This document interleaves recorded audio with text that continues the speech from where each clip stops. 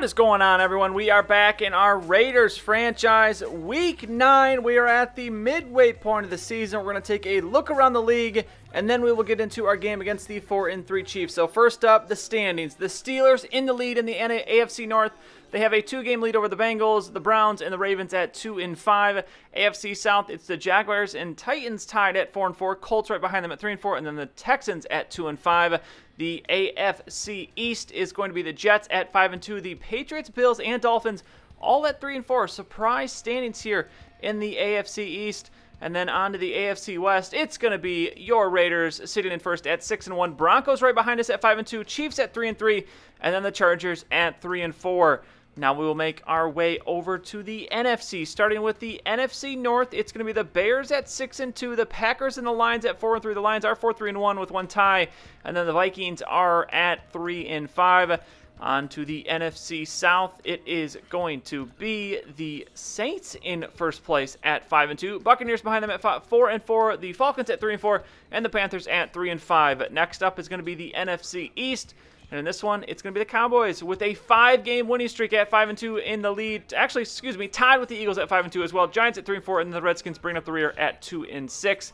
And then finally, the last division, the NFC West, it's the Cardinals at 2 and 6. And look at this, the Seahawks 2 and 5, the Rave or the 49ers 1 and 6, and the Rams 0 6 and 1. So the Cardinals all over it in the NFC West. That is the uh, that's a very surprising sight there. But on to the stats. Chase Moss, the rookie, doing very well to start his career. 1,400 yards, 15 touchdowns, 6 interceptions. Griffin, 256, 5 TDs, and 2 picks in the limited time he saw. Darren Ellis having himself a season. 758 yards, 10 touchdowns, 100 yards a game.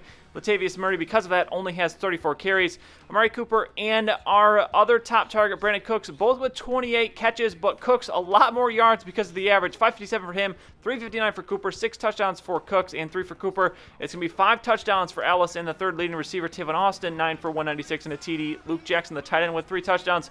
And then the defense, Ha, Clinton Dix leading the team with 57 tackles. Mathieu behind him with 56 tackles for loss. Bruce Irvin's going to have 10. Khalil Mack with 8. He's also going to have 11 and a half sacks. Next closest is 3. Aldon Smith. Khalil Mack what a first half of the season for him. He's chasing some records here. And then interceptions, Eric Darman, the middle linebacker, with two. And then we only have two other picks besides that. So, yet again, another season with not a lot of interceptions from our secondary. But that is the update for around the league. Now we move on. Week nine, we are going to be taking on the four and three Kansas City Chiefs. So here we go. We're going to have the ball first. Darren Ellis with the carry, and he's going to pick up a first down on the very first carry of the game. Actually, he's not going to get the first down. Be going to be inches short, so third and inches. He will pick it up here, and a lot more than uh, the third and inches. He's going to pick up 14 on that carry. So second and four now from the 45-yard line. It's going to be Ellis again as we are just feeding this man. As you saw, he is averaging over 100 yards per game and really picking up right where Latavius Murray left off the previous three seasons. Now first and 10, it's going to be a pass, but it's going to be a sack. But look at this. Penalty is on the defense. It's holding on Davon House, and that is going to give us a free first down. Like the way this first drive is going, second and one now, it's going to be Moss, and he's looking, and he's going to find Luke Jackson, and he has the touchdown, and we will take an early 7 to nothing lead. Actually, we won't take an early 7 0 lead. We actually missed the extra point. I didn't include it in here, but Alex Smith coming in at quarterback. We missed the extra point. There's 15 mile per hour winds. I wasn't paying attention. We missed the extra point. So six to nothing here as the Chiefs take over. It's going to be Jacquizz Rodgers in at running back. He's going to have nowhere to go. So third and nine, the Chiefs looking to avoid a quick three and out here. It's going to be Smith halfback screen, but he's not going to find anybody. He's going to be sacked in the backfield. That's going to be Darman in for the sack.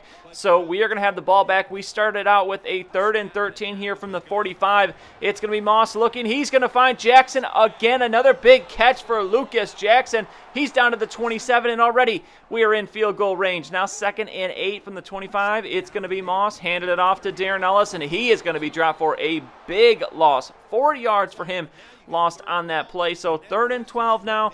It's going to be Moss looking for the completion, and he's not going to get it hit as he throws, and that will be his first incompletion of the game. So out for the field goal down. I already told you the wind problems and we missed the field goal as we just cannot figure out the wind direction and the power in this one. So still a six to nothing game, a bit of a wasted possession there. But back come the Chiefs. It's going to be Mal with the reception, as that's going to be Smith's first completion of the game. Now third and five as the Chiefs looking to keep the drive alive. Last minute of the first quarter, the catch is going to be made by Jeremy Maclin, but good tackle there from Dominique Rodgers Cromartie. So fourth down, I'm showing you the punt. That means something good is going to happen. And look at this. The cheeky Chiefs trying to go for it. The throw is made, and it's going to be knocked away. TJ Carrie Nice job defending the play, and we will take over on down. So first and 10, Moss looking for a big play here, and he is going to find one. Amari Cooper down the field to the 28, and again, just like that, we're back in field goal range.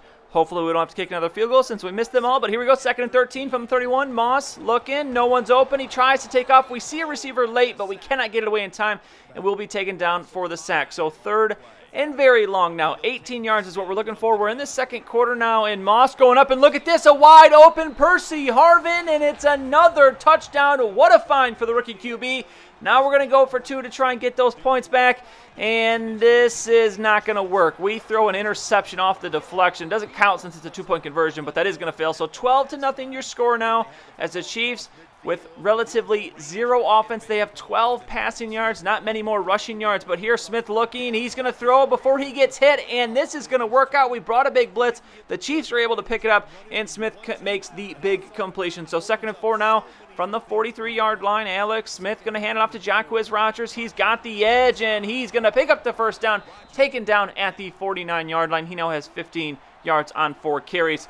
It's going to be second and 10 now from the 50. It's Alex Smith looking quick throw. He's going to find Justin Blackmon for close to a first down. I think he's just a little bit short. Nope, he would pick that one up. So first and 10. It's going to be Smith now. Shotgun with Rodgers to his right. He's going to hand it off to Rodgers. He's going to kick it outside. He's got the blocks. He's got the edge. And it's going to be Jacquizz down inside the 15 to the 10. Nice carry. Nice play call there from the Chiefs. So first and 10 now, the Chiefs looking to put some points on the board, and it's going to be a halfback screen. And again, it's not going to work as we catch that one easily. Shane Florence is going to be in there for the sack. So now second and 23 for the Chiefs as they're going the wrong direction. And how's this for the wrong direction? Another sack as Smith is brought down. I believe that was Irvin on the sack that time. So now third and 29 the Chiefs need something here as Smith a lot of time to throw, but no one's open. And look at this Khalil Mack, the third straight sack, and the Chiefs are knocked out of field goal range. They have to punt it. So two minutes to go in this half. We're looking to put some more points on the board. Look at the nifty spin move there from Darren Ellis, and then fighting off that Chiefs defender to get the first down out to the 46 as we now have it second and five from the 41. 138 to go. We still have all three timeouts, so we can take our time. Halfback screen, that is not going to work as the halfback screens in this game not working for either team. Moss still just one incompletion in this half. Very, very efficient game for him. Now third and 10. It's going to be Moss looking, and again, we try to get away, just not quick enough. We saw a receiver again late, but we can't get it to him, so here's the punt. As I'm showing you a lot of punts in this game, but let's see what King can do as this one is going to bounce at just inside the five, and it's going to stick. Can we get to it quick enough? Yes, we can. Down at the one. What a coffin corner punt. So here we go. Can we get a safety as the pressure going to come in? The play is called right. It's going to be down, but I don't think it is. No, they do give us the safety. I do not think he was in the end zone, but they are going to give it to us. So we'll take the two points. That makes up for the missed extra point and the failed two point conversion. So we go into half. The screen did freeze there at halftime. So don't worry, it's okay. Game is good. 14 0 headed into the third quarter. The Chiefs fail on their first drive, so we have it now, and it's going to be Percy Harvin. Another reception, 180 yards for Moss on his 11 of 13 day so far. What a game for him. Second and four now. We're making a last second adjustment play action.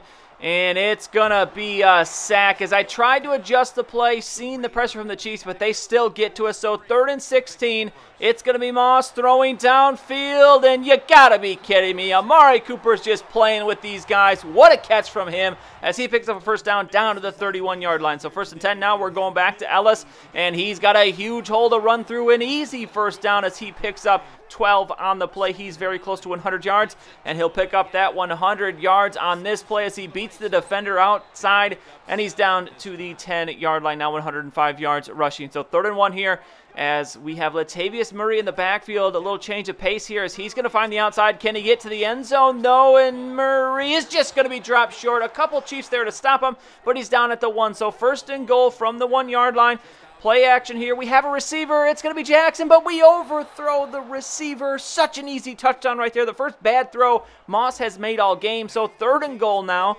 as we are very close to failing on this drive. It's going to be Moss, and we are going to fail. The pass is incomplete. The pressure from the Chiefs, but you know what?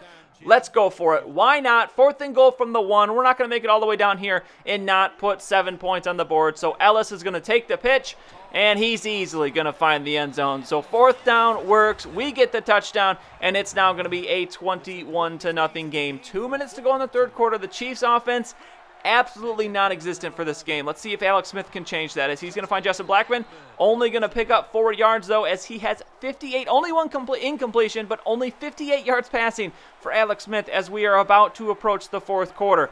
Third and 12 now. Smith Going to drop back to throw. He's going to find a receiver, but it's going to fall incomplete. Should have been intercepted there, but it's going to fall incomplete. So we will get the ball back as it's now second and eight. Final play should be of the third quarter. We're going to find Luke Jackson the first down. The tight end having himself a game now, 222 yards passing for Chase Moss.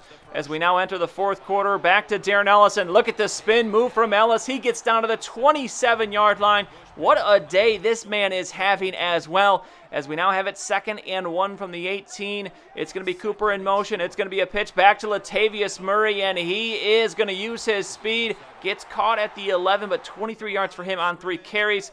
So now from the 11, it's first down. Moss shotgun empty backfield. The quick throw facing pressure. It's going to be Mari Cooper catching it, and he's going to stay up trying to fight, and he is going to fight into the end zone. What a play from Amari Cooper the absolute hustle and work to get into the end zone, and it's now going to be 28 to nothing as this game absolutely all Raiders. But look at the Chiefs fighting back. Mychal Rivera, you remember him, our old tight end signed with the Chiefs a couple years ago. He's going to make the catch there. So second and four now from the 40. It's going to be Smith, shotgun, bad snap, but he's going to get it down to Rodgers, and he will pick up a first down, seven yards for him on that carry. So first and 10 now from the 33 yard line, just over seven minutes to go in this game as another halfback screen. This one's actually going to work. And look at Rodgers to the outside, out of bounds at the 21. And the Chiefs, can they put some points on the board here?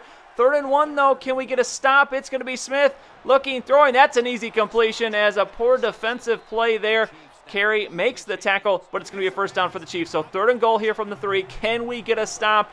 Let's keep seven off the board, but we cannot. Jeremy Maclin is going to be his man, and he's got the touchdown. So the Chiefs score but that's going to be it. We run out the remainder of the clock. We're going to win this one 28 to 7. What an absolutely dominating performance. Look at the offensive numbers 81 yards passing for the Chiefs, 70 yards rushing, as we are all over them in this one. No turnovers for either team. Chase Moss goes 16 of 21 for 243 yards and three touchdowns. Alex Smith going to have 22 attempts, 14 completions, 128 yards, and that one touchdown.